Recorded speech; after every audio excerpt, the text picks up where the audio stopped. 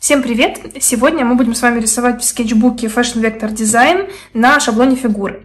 А, будем рисовать вот такое розовое платье. Вам потребуются карандаши, линеры, маркеры любых оттенков, которых вам хочется использовать. У меня будут разные оттенки розового, красного, бордового. Ну что, начнем.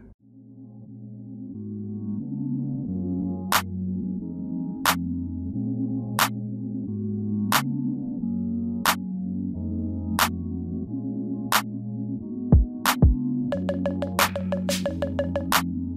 you.